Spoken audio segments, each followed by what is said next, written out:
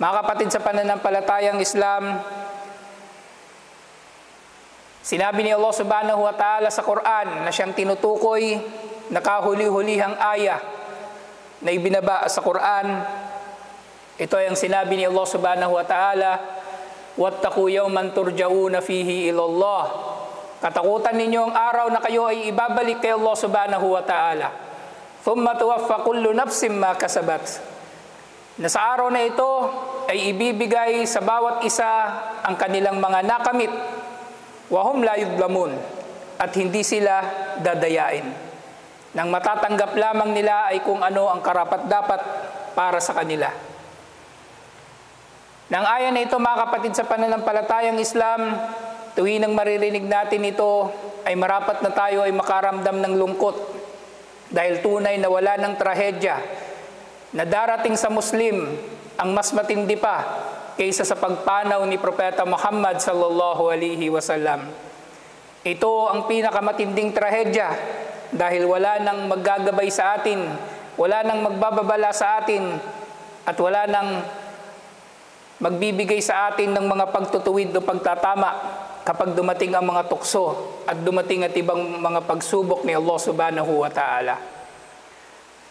Nakabilang din sa mga huling aya na ibinaba ni Allah subhanahu wa ta'ala sa Quran bago pa mamatay si Propeta Muhammad sallallahu alaihi wasallam nang nalalapit na ang kanyang kamatayan ay ang sinabi ni Allah subhanahu wa ta'ala Al-yawma akmaltu lakum dinakum wa atmamtu alaykum ni'mati wa raditu lakumul Islam madina. Na sa araw na ito ay kinukumpleto ko para sa inyo ang inyong relihiyon at ginagawang ganap ang aking mga biyaya sa inyo at pinipili ko ang Islam bilang inyong maging relihiyon. Na sa sinabi na ito ni Allah subhanahu wa ta'ala, sinasabi niya na tayong mga Muslim, ang ating relihiyon ay Islam. Ang ating relihiyon ay hindi Budismo. Ang ating relihiyon ay hindi Kristyanismo. Ang ating relihiyon ay hindi Judaismo. Ang ating relihiyon, ang pangalan nito, ang mga prinsipyo nito at ang mga pinaninindigan nito ay kung ano ang pangalan, prinsipyo at paninindigan ng relihiyong Islam. At gayon din ang relihiyon na ito ay kinumpleto na ni Allah subhanahu wa ta'ala. Kaya wala nang pangailangan na ang tao o ang Muslim ay magdaragdag o magbabawas sa mga katuruan ng relihiyon na ito. Katulad ng ginagawa ng nasa ibang relihiyon na sila ay may kani-kanilang mga interpretasyon sa kanilang mga katuruan, kani-kanilang mga pagsasabi kung ano ang kahulugan ng kaligtasan, kani-kanilang pagsasabi kung sino ba ang Diyos na dapat sambahin o ano ba ang marapat na obligasyon ng tao sa kanyang Panginoon. Mga kapatid sa pananampalatayang Islam, ang relihiyon natin na yung Islam at ito ay kinumpleto na ni Allah subhanahu wa ta'ala.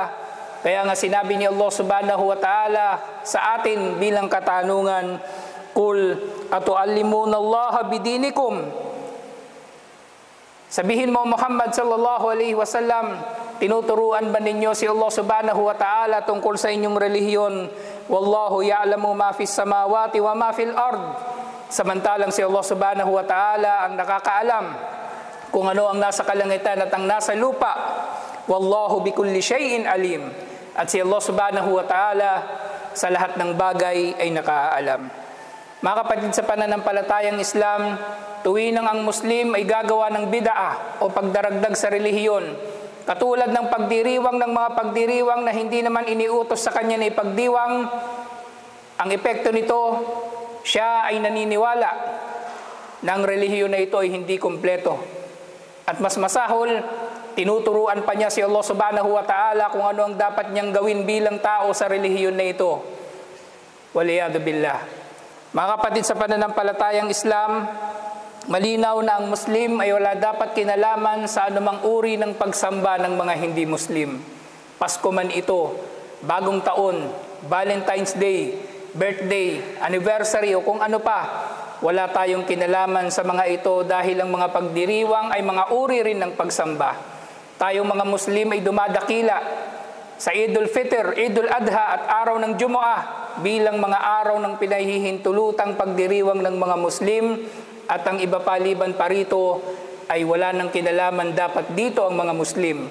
At sino mang Muslim ang magkakaroon ng kinalaman sa anumang pagdiriwang liban pa sa tatlong ito, siya ay nagkakasala at siya ay maaring nasa kalagayan na na mapanganib na siya ay nasa pagkaligaw dahil ang lahat ng bid'a o pagdaragdag sa relihiyon ay uri ng pagkaligaw. Mga kapatid sa pananampalatayang Islam, kung ang Pasko ay paglapastangan sa pagiging Diyos ni Allah subhanahu wa ta'ala dahil tuwing Pasko ay sinasabi ng mga tao na si Allah di umano ay nagkaroon ng anak, na si Allah di umano ay nagkatawang tao at siya ay ipinanganak. Ang bagong taon mga kapatid sa pananampalatayang Islam, ito naman ay paglapastangan sa pagiging Panginoon ni Allah subhanahu wa ta'ala. Dahil si Allah subhanahu wa ta'ala bilang ating Panginoon, siya ang tagapaglikha, siya ang tagapagmay-ari, tagapamahala at tagapagbiyaya ng kanyang mga nilikha. At nag-iisa lamang siya sa mga katangian na ito. Pero nasisira ang paniniwala ng mga tao sa kaisahan na ito ni Allah subhanahu wa ta'ala sa kanilang pagdiriwang ng bagong taon. Hindi lamang sa bid'a nakalakip nito, bagkus doon sa paghalo ng mga khurafat na tinatawag o mga pamahiin at mga tiyara o paniniwala sa mga pangitain na kasama sa mga pagdiriwang na ito. Mga kapatid sa pananampalatayang Islam, bukod sa paggaya sa kuffar, bukod sa paggaya sa mga hindi mananampalataya at paggawa ng bidaa, tuwinang ang Muslim ay nagdiriwang ng Pasko o bagong taon, ang pinakamasahol na bahagi ng pagdiriwang ng bagong taon ay ang pagtatambal kay Allah subhanahu wa ta'ala. Ang shirk na siyang kasalanan na walang kapatawaran, na sa sobrang tindi ng parusa dito ni Allah subhanahu wa ta'ala ay dalawang beses niyang binanggit sa Quran na ang shirk ay walang kapatawaran. Una rito ay ang sinabi ni Allah subhanahu wa ta'ala, Inna Allah la yagfiru ay yushraka bihi wa yagfiru ma duna dhalika liman yasha. Tunay na si Allah subhanahu wa ta'ala ay hindi nagpapatawad sa kasalanan na siya ay pagtatambalan. Subalit patatawarin niya ang iba pang kasalanan liban pa rito na nais niyang patawarin. Wa may yushrik billahi faqad iftara ithman azima. Na sino man daw ang magtambal kay Allah subhanahu wa ta'ala, siya ay nakagawa ng malaking kasalanan. At sa isa pang aya, sinabi ni Allah subhanahu wa ta'ala, La yagfiru wa yushraka bihi wa yagfiru ma duna dhalika liman yasha. Tunay na si Allah subhanahu wa ta'ala ay hindi magpapatawad sa kasalanan na siya ay pagtatambalan Subalit patatawarin niya ang iba pang kasalanan liban pa rito na nais niyang patawarin. Wa may yushrik billahi faqad dalla dalalan ba'ida. At sino mang magtambal kay Allah subhanahu wa ta'ala, siya ay naligaw ng malayong pagkaligaw. Mga kapatid sa pananampalatayang Islam, ang mga paniniwala sa mga pamahiin ay pagtatambal kay Allah subhanahu wa ta'ala. Dahil ang tao, sa halip na siya ay naghahangad o umaasa sa biyaya ni Allah subhanahu wa ta'ala, ang mga biyaya ay iniaasa niya sa mga bilog na prutas o masaganang handa sa pagsalubong sa bagong taon sa pag-aakala na kapag nasimulan ng bagong taon sa kasaganahan ay magiging masagana ang buong taon. Gayun din ay nagiging shirk o pagtatambal kay Allah subhanahu wa ta'ala ang pagsalubong sa bagong taon dahil di umano ang tao na nagpapaputok sa bagong taon o kaya ay nag-iingay sa bagong taon ay inilalayo niya ang kamalasan o ang mga masamang pangyayari sa kanyang buhay o kapalaran sa pamagitan ng mga ito. Mga kapatid sa pananampalatayang Islam, ang mga bagay na ito ay pawang paglabag sa kaisahan ni Allah subhanahu wa ta'ala dahil walang pangitain, walang mga pamahiin sa Islam. Ang ating buong pananalig ang ating buong pag-asa, ang ating buong takot ay kay Allah subhanahu wa ta'ala lamang at hindi ito nakasalalay sa ano pa bagay na may kinalaman sa mga pinaniniwalaan na ito ng mga tao. Na ang mga pamahiin mga kapatid sa pananampalatayang Islam, hindi lamang ito nagaganap din tuwing bagong taon dahil maaring ang tao ay maniniwala sa malas o swerte kahit sa iba pang mga pagkakataon sa buong taon. At ang mga bagay na ito, mga kapatid sa pananampalatayang Islam, ay mga bagay-bagay na nagiging dahilan na tayo ay magtatambal kay Allah subhanahu wa ta'ala na dahil dito ay maaring abutan tayo ng kamatayan na tayo ay nagtatambal kay Allah subhanahu wa ta'ala, maaring sabihin ng mga tao ng tiara o paniniwala sa mga pamahiin ay shirkun asgar o maliit na shirk, maliit na pagtatambal kay Allah subhanahu wa ta'ala. Subalit ito ay pagtatambal pa rin na maaring lumala, lalong-lalo na sa puso ng mga tao na kung sila ay naniniwala na na ang mga ito ay nagdudulot nga ng kabutihan sa kanila o nag-aalis sa kanila ng kasamaan. Na mga bagay na ito mga kapatid sa pananampalatayang Islam ay nakikita na natin na ginagawa ng mga Muslim. Lalong-lalo na ng mga negosyanteng mga Muslim. Na makikita mo ang marami sa kanila tuwing umaga sa pagbubukas nila ng kanilang mga tindahan ay papagpagan nila ng perang papel ang kanilang mga paninda bilang pampaswerte di umano. Sa kanilang mga tindahan, makikita mo doon ang pusa na kumakaway, ang palaka na mayroong pera sa kanyang bibig at iba't iba pang mga pampaswerte na ginagaya ng mga tao mula sa mga inchik na walang kainalaman sa relihiyon ng mga propeta. Mga kapatid sa pananampalatayang Islam, ang tiara o paniniwala sa mga pamahiin o mga pangitain ay pagtatambal ayon mismo kay Propeta Muhammad sallallahu alaihi wasallam. Dahil sinabi ni Propeta Muhammad sallallahu alaihi wasallam, man raddat tiyara an hajatihi faqad ashrak. Sino mang tao na siya ay napigilan sa paggawa ng anumang gusto niyang gawin dahil sa pamahiin o dahil sa pangitain, siya ay nagtambal kay Allah subhanahu wa ta'ala. Dahil mga kapatid sa pananampalatayang Islam, sinabi ni Propeta Muhammad sallallahu alaihi wasallam, la adwa wala tiyara, wala hamma, wala safar. Na hindi raw pinaniniwalaan sa Islam at hindi totoo ang pagkakaroon ng adwa o paggahawa ng mga sakit ng walang pahintulot ni Allah subhanahu wa ta'ala. Gayun din ang paniniwala sa mga pamahiin, gayun din ang hama o paniniwala doon sa ibon di umano na lumalabas mula sa ulo ng isang tao na namatay na maaring tinutukoy dito ang mga multo ng mga taong namatay na. At gayon din ang safar na pinaniniwalaan ng mga Arabo kahit mula noong una pang panahon na buwan na malas di umano ang paglalakbay sa buwan na ito. Mga kapatid sa pananampalatayang Islam, ang buong pananalig ng Muslim ay marapat na para lamang kay Allah subhanahu wa ta'ala. At ang mga bagay-bagay na ito ay marapat na hindi niya ginagaya kahit pa marami ang gumagawa nito. Mga kapatid sa pananampalatayang Islam, hindi tayo umiiwas sa mga gawain na ito dahil sa wala tayong pakisama. Tayo ay umiiwas sa mga gawain na ito dahil tayo ay naninindigan na tayo ang nasa tamang relihiyon. Mga kapatid sa pananampalatayang Islam, hindi makapipigil sa ating mabuting pakikitungo sa ating kapwa kung hindi tayo magpapasko o mag-New Year.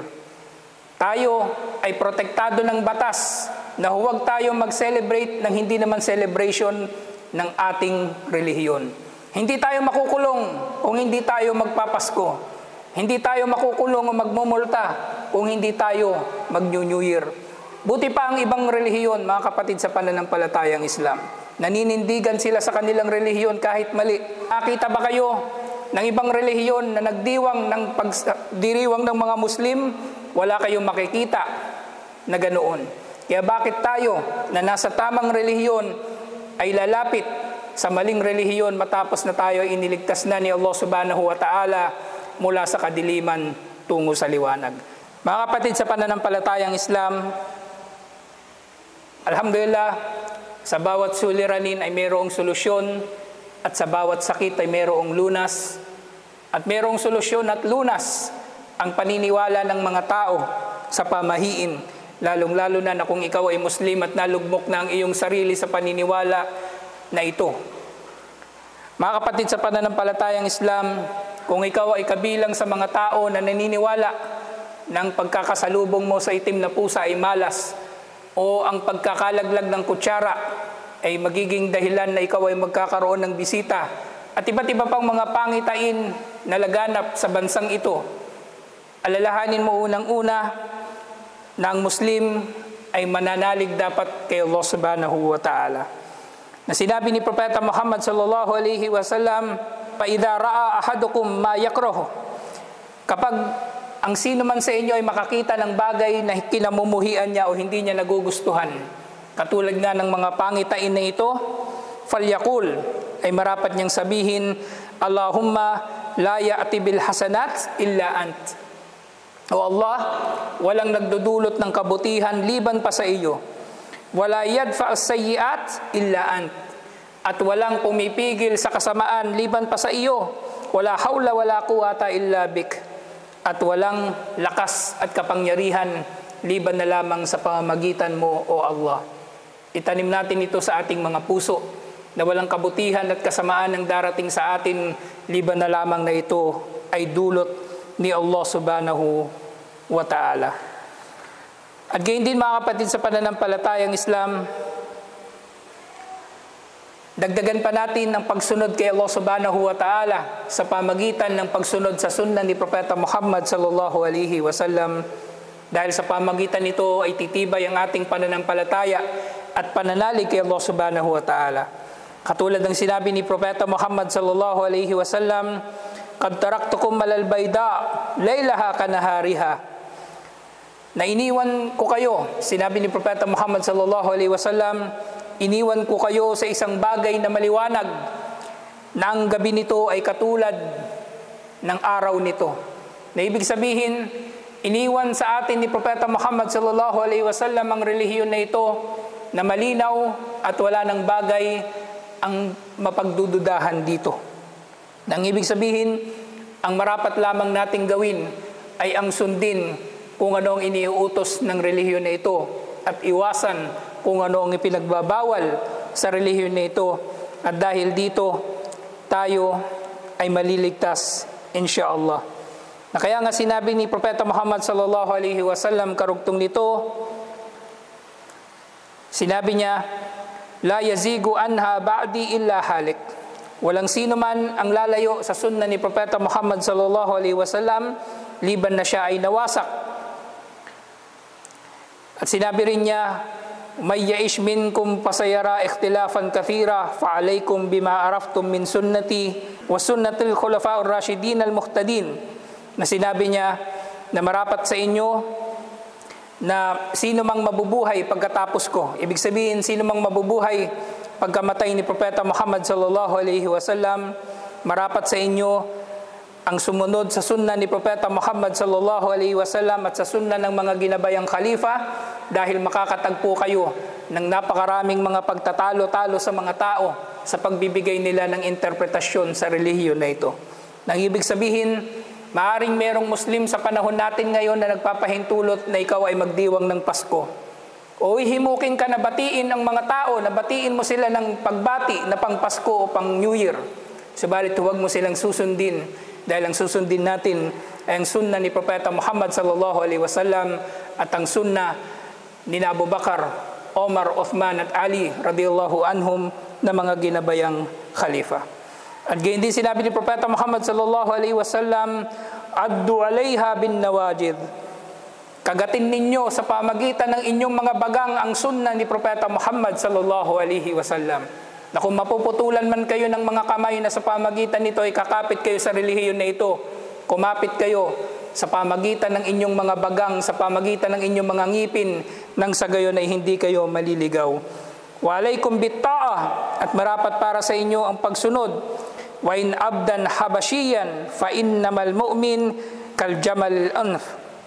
At marapat para sa inyong sumunod sa inyong mga pinuno, lalong-lalo na sa mga pinuno na makatarungan at pinunong nag-uutos ng kabutihan at nagbabawal sa kasamaan, kahit pa ang pinuno na ito ay alipin na maitim, alipin na negro, alipin na hindi ninyo nagugustuhan ng kanyang itsura, subalit siya naman ay nasa hak, siya naman ay nasa tama, marapat tayong sumunod sa kanya. Dahil ang mananampalataya ay marapat na maging tulad ng kamelyo na mayroong tali sa kanyang ilong na siya ay hinihila lamang at siya ay susunod.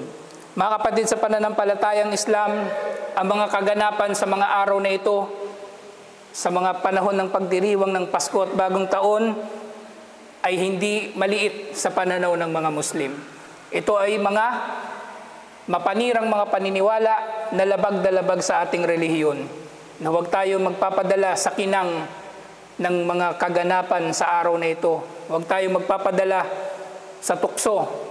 Nasasali tayo sa mga kaganapan sa mga araw na ito dahil kung anumang nasa relihiyon na ito ay mas mainam at anumang matatagpuan natin kay Allah subhanahu wa ta'ala sa paraiso ay mas mainam sa anumang kinang ng mundong ito at nilalaman nito.